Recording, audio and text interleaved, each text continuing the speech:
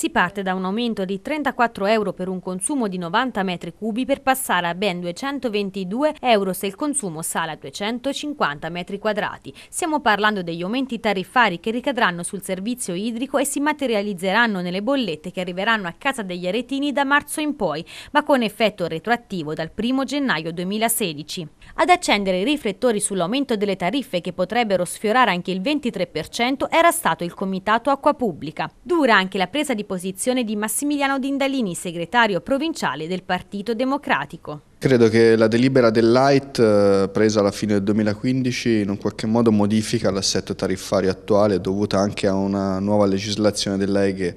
Quello che vogliamo denunciare è che non si tiene conto ad esempio della progressività legata al nucleo, alla dimensione del nucleo familiare e di conseguenza accadrà che famiglie più numerose che di conseguenza consumano più acqua si, tro si troveranno ad avere degli aumenti, viceversa delle famiglie ad esempio di persone che stanno da sole eh, che magari consumano meno e a prescindere dalla disponibilità economica si troveranno una riduzione in tariffa. Credo che questo sistema ha dei notevoli punti di eh, difficoltà e abbiamo chiesto all'AIT di rivedere, soprassedere un attimo sull'applicazione dell'attuale delibera e rivedere appunto utilizzando criteri che siano più equi. Ecco, da marzo ci saranno però queste ricadute degli aumenti che potrebbero anche sfiorare il 23%.